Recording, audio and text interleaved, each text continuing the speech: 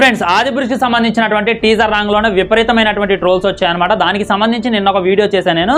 దాంట్లో కొద్దిగా డైరెక్టర్ గారిని తిట్టాను అనమాట ఓం రావత్ గారిని తిట్టడంతో చిన్న కాలం మంది నెగిటివ్ కామెంట్స్ అనేవి పెట్టారు. ఆయనకి నా తరపు నుండి సారీ నా బొచ్చులో సారీ ఏంద్రా వాడికి సారీ చెప్పేది? వాడికి సపోర్ట్ చేసే వాళ్ళ గురించి అయినా అండ్ చాలా మంది కింద కామెంట్ చేస్తున్నారు కదా నీకు ఒక డైరెక్టర్ వాల్యూ తెలుసా? నువ్వు ఆ డైరెక్టర్ ముందు ఎందుకు పనికి వస్తావు చెప్పి కామెంట్ చేస్తున్నారు. అలా అడిగేటోళ్ళందరికీ చెప్తున్నాను మీకు రామాయణం గురించి తెలుసా? రామాయణం అంటే ఏమన్నా రాధేశ్యామ్ స్టోరీ అనుకుంటున్నారా? లేకుంటే ఆర్ఎక్స్ అంటే లేక ఏమైనా రొమాంటిక్ స్టోరీ అనుకుంటున్నారా? ఒక రామాయణాన్ని హ్యాండిల్ చేస్తున్నప్పుడు ఎంత జాగ్రత్తగా హ్యాండిల్ చేయాలి? బాహుబలిని హ్యాండిల్ చేసినటువంటి డైరెక్టర్ గారే అదొక పుణ్య కారణం నాకు రామాయణం కంటే ఎక్కువ అని చెప్పి తను చాలాసార్లు చెప్పాడనమాట. ఇది ఒక ఫ్రిక్షనల్ స్టోరీ బాహుబలి అనేటటువంటి అతను రియల్ లైఫ్లో లేడు. కానీ శ్రీరాముడు అనేటటువంటి వ్యక్తి రియల్ లైఫ్లో ఉన్నాడనమాట.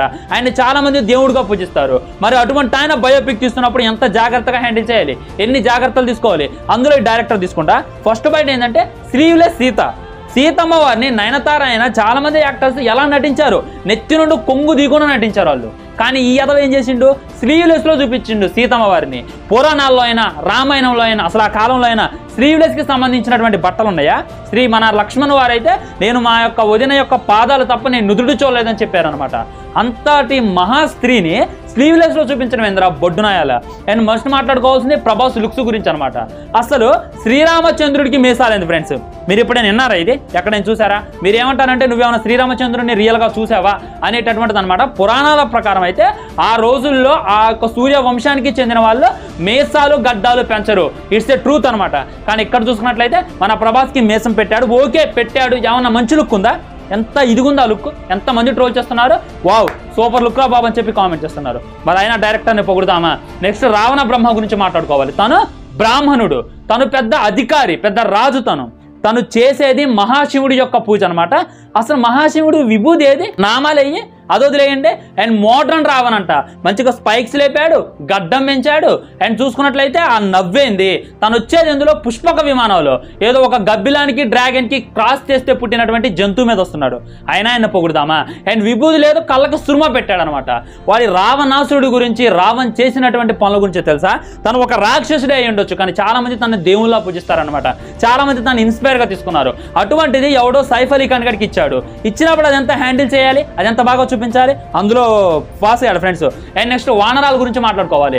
వారణ వానరాలు ఎవరైతే ఉన్నారో వాళ్ళేమి పూర్తి మంకీలు చెంపాంజీలు గొర్రెల్లాలు కాదన్నమాట. మనిషి రూపమే కానీ కోతి రూపంలో ఉంటుంది వాళ్ళకి. కానీ ఇక్కడ చూసుకున్నట్లయితే మనకు చెంపాంజీలు గొర్రెల్లాలు తప్ప ఇంకేమైనా కానొస్తున్నాయా ఈ టీజర్లో?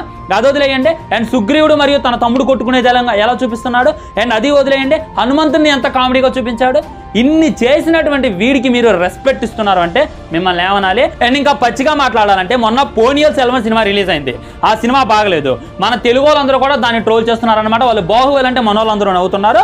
సో తమిళనాడు వాళ్ళు అయితే ఒక అడుగు వెనక్కేశారు. కానీ ఈ టైంలో ఈ ఆది పురుషు టీజర్ రిలీజ్ చేసి వాళ్ళకైతే ఒక గట్టి స్టఫ్ ఇచ్చినట్టు చేశాడు ఈ డైరెక్టర్ అయినా కానీ డైరెక్టర్ మనం పొగుడదాం ఫ్రెండ్స్ ఒకసారి మీరు స్క్రీన్ షాట్లో చూడండి. ఖుషి టీవ్ అంట ఆది పురుషుకు సంబంధించినటువంటి డిజిటల్ రైట్స్ కొనుక్కుందంట.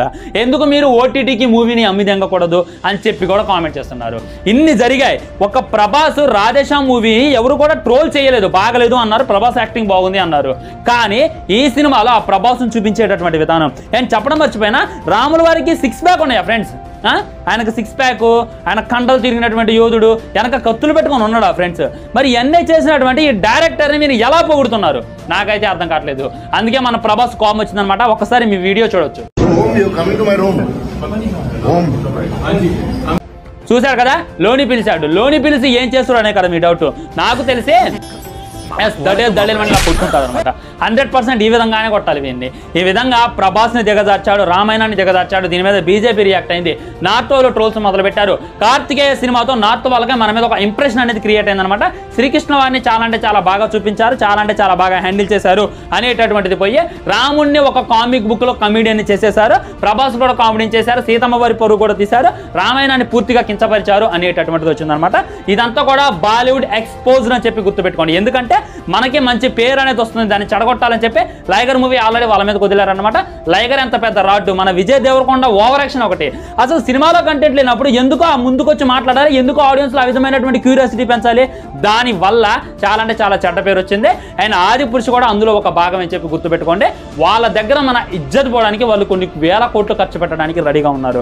అదైతే ఇప్పుడిప్పుడే అర్థమవుతుంది ఫ్రెండ్స్ నిదానంగా దానికి సంబంధించినటువంటి ఎక్స్పోజ్ అనేది ముందుకు వస్తుంది ఇంకా దాని మీద ఇంకా వీడియో చేయడానికి ట్రై చేస్తా. అండ్ ప్రభాస్కి ఆది పురుషు టీజర్ చూసిన తర్వాత చెమట పడ్డాయి ఫ్రెండ్స్ నిజం చెప్తున్నాను. అండ్ తనకి కళ్ళు కూడా తిరిగాయి. కృతి సనాన్ మరియు డైరెక్టర్ తను పట్టుకోవడం కూడా న్యూస్ అనేది వచ్చిందనమాట దాంతో చాలా మంది ప్రభాస్ ఏజ్ అయిపోయింది తన పని అయిపోయింది అంటున్నారు. అంత లేదు అక్కడ. తను పెద్దనాన్న చనిపోయినటువంటి బాధ. అండ్ మూవీ షూటింగ్స్లో పాల్గొంటున్నాడు కాబట్టి ఈ విధంగా అవుతుంది. ఈ విధంగా ఒక పెద్ద స్టఫ్ ఇచ్చినటువంటి ఓమ్రెడ్ గారిని చెప్పుతో కొడతా అనేటటువంటిది ఏదైతే ఉందో అది చాలా అంటే చాలా చిన్న పదం ఫ్రెండ్స్ హండ్రెడ్ పర్సెంట్ చెప్తాను అనమాట చాలా అంటే చాలా చాలా వరస్ట్గా ఉంది ట్రైలర్. రామాయణం సాటిస్ఫై కాలేదు ప్రభాస్ ఫ్యాన్స్ సాటిస్ఫై కాలేదు ఒక కార్టూన్ సినిమా అయిందనమాట సో ఇది మీరు గుర్తుపెట్టుకోండి ఆయనకు సపోర్ట్ చేసే ముందు ఒకసారి ఆలోచించి సపోర్ట్ చేయండి. ఓకేనా? నేనైతే పచ్చిగా చెప్పా మీ మనసు ఏమైనా నొప్పించుంటే వెళ్ళిపోండి అవసరం లేదు. హేటర్స్ అందరికీ చెప్తున్నాను. నేను చేసేటటువంటి వీడియోలో హండ్రెడ్ పర్సెంట్ మా మమ్మీ డాడీకి చూపించుకుంటా. కానీ మీరు పెట్టేటటువంటి కామెంట్లు మీ అక్కకో మీ చెల్లికో ఒకసారి చూపించడానికి ట్రై చేయండి. అప్పుడు మీకు అర్థమైంది అండ్ హంట్ మూవీ సంబంధించినటువంటి టీజర్ అయితే వచ్చింది ఫ్రెండ్స్ ఇందులో మన సుదీప్ బాబు అయితే వేరే ఎవరు ఉన్నాడు ఇందులో అర్జున్ అంటారు ఇందులో ఇంకా మెయిన్ ఇంట్రెస్టింగ్ ఏంటంటే శ్రీకాంత్ కూడా ఉన్నాడు. తన విలనా హీరో అనేటట్టు తెలియాల్సి ఉంది. ఒక సస్పెండ్ క్రైమ్ మీద సాగేటటువంటి అని అర్థమవుతుంది. డ్యూయల్ రోల్ అని అర్థమవుతుంది. అండ్ నాకైతే కొద్దిగా ఇంట్రెస్టింగ్ అని అనిపించింది. ఆ అమ్మాయి గురించి మీకు చెప్పాలి తర్వాత ఒక మంచి సినిమాతో అయితే వస్తున్నాడు. సో మంచి హిట్ కొట్టాలని చెప్పి కోరుకుందాం. అండ్ దసరాకి సంబంధించినటువంటి ధూమ్ ధామ్ బట్ అనేటటువంటి సాంగ్ అయితే రిలీజ్ అయిందనమాట అందులో నాని లుక్స్ అయితే అవసరం ఉంది. అండ్ స్క్రీన్ ప్రజెన్స్ అయితే సూపర్ ఉందన్నమాట. కానీ ఆ సాంగ్ లిరిక్స్ రాసిన వాళ్ళని ఆ సాంగ్ పాని వాళ్ళని ఏమన్నా ఏ మాత్రం బాగలేదు. చాలా అంటే చాలా వర్స్ట్గా గా అనిపించింది. ఆ యొక్క లిరిక్స్ వింటున్నా ఆ యొక్క గొంతు వింటున్నా మన రాహుల్ పాడి అంట మన సాంగ్ ఏ మాత్రం బాగాలేదు తను వేసినటువంటి డ్యాన్స్ కైనా అక్కడ చూపించినటువంటి కొరియోగ్రఫీకి అయినా మాక్సిమం అయితే వర్త్ జరగలేదు.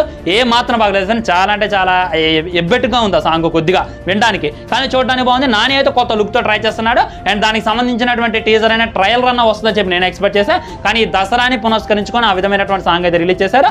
అండ్ ఆ సాంగ్ మధ్యలో చిక్కు చిక్కుల బొమ్మ అనేటటువంటిది అయితే పెట్టారు లిరిక్ ఆకర్షించడానికి. ఎందుకంటే ఇప్పుడు బతుకమ్మల సీజన్ కదా. మొత్తం ఆ సాంగ్ పెట్టుకొని ఎగురుతారేమో అనేటటువంటి ఉద్దేశంతో పెట్టారు కానీ ఆడదేం పండలేదన్నమాట. ఎవరికి కూడా ఆ సాంగ్ అంతలా నచ్చలేదు. అండ్ గాడ్ ఫాదర్ రేపు రిలీజ్ అయిపోబోతుంది. మూవీలో అయితే చాలా అంటే చాలా చేంజెస్ చేశారండి ఫ్రెండ్స్ ఇది విన్న తర్వాత నేనైతే షాక్ అయ్యా. ఎందుకంటే లూసిఫర్ మూవీలో మోహన్ లాల్ నలభై నిమిషాల మట్టికే ఉంటాడు. కానీ ఈ సినిమాలో మన చిరంజీవి గారు రెండు గంటల దాకా ఉండబోతున్నారు. దీంతో కొద్దిగా నాకైతే కొడుతుంది ఫ్రెండ్స్. ఎందుకంటే ఉన్నది ఉన్నట్టు చూపిస్తే కొద్దిగా ఇష్టపడేటటువంటి అవకాశం ఉంది. కొద్దిగా అటు ఇటుగా చేర్చారనుకోండి దెబ్బ కొట్టేటువంటి అవకాశం ఉంది. అది డైరెక్టర్ ఆల్రెడీ తెలియజేశారు. మరి రేపు గాడ్ ఫాదర్ రిలీజ్ ఉంది గోస్ట్ రిలీజ్ ఉంది. మీ ఓటు దేనికి? మీకు ఏ రివ్యూ కావాలి అనేటటువంటి కింద కామెంట్ చేయండి. రేపు జల్దీ వీడియో అప్లోడ్ చేయడానికి ట్రై చేస్తా. అండ్ మన విజయ్ తలపతి మరియు ప్రభాస్ కలపడబోతున్నాడు. ఎస్ వారసుడు సినిమా అదే రోజు రిలీజ్ అవ్వబోతుంది. జాన్ ట్వెల్త్ అదే రోజు ఆది పురుష్ కూడా రిలీజ్ అవుతుంది. మరి మీ ఓటు దేనికి? నేనైతే ఆది పురుష్ మూవీ వెనక్కడు గేస్తే బాగుంటుంది అని చెప్పి కోరుకుంటున్నాను. ఎందుకంటే ఈ మూవీ మీద విపరీతమైనటువంటి ట్రోల్స్ వచ్చాయి ఫ్రెండ్స్. సో వారసుడు మూవీ మీద ఇంత మటుకి టీజర్ ట్రైలర్ అంటే రాలేదు. సో అక్కడ ఉన్నటువంటి డైరెక్టర్ దమ్మున్నటువంటి డైరెక్టర్ మంచి కంటెంట్ తోనే వస్తాడనమాట. సో ఇది ఆపి అది చూడడానికి ఇష్టపడతారు. ఆల్రెడీ మనకి మరియు తమిళనాడు వాళ్ళకి యుద్ధం జరుగుతుంది. ఈ ఇదే టైంలో ఆదిపురుషు మరియు వారసుడు సినిమా ఒకేసారి రిలీజ్ అయింది అనుకో ఆదిపురుషు మూవీ ఫట్ అయిందనుకో ఒక సినిమా హిట్ అనుకో ఇక వాళ్ళ ముందు మనం ఇక అన్ని సమర్పించేసుకోవాలన్నమాట. చాలా అంటే చాలా వరస్ట్గా ఉంటుంది. మన రాజమౌళి గారు అక్కడ పెడుతున్నారు టాలీవుడ్ని కానీ కొంతమంది బాలీవుడ్ దిక్కుమాల డైరెక్టర్లు ఆ యొక్క ఇజ్జత్ తీసేటటువంటి ప్రయత్నం చేస్తున్నారు. అది మన తెలుగు హీరోలైనా తెలుగు యాక్టర్స్ అయినా తెలుగు ప్రొడ్యూసర్లైనా తెలుగు డిస్ట్రిబ్యూటర్లైనా అయినా సరే సరే గుర్తుపట్టాలని చెప్పి కోరుకుందాం. ఇది ఈ రోజు మూవీ అప్డేట్స్ అయితే వీటన్నిటిలో మీకు ఏది ఇంట్రెస్టింగ్ అనిపించింది అనేటువంటి కింద కామెంట్ చేయండి. రేపు రివ్యూతో మళ్ళీ కలుద్దాం. Signing off bye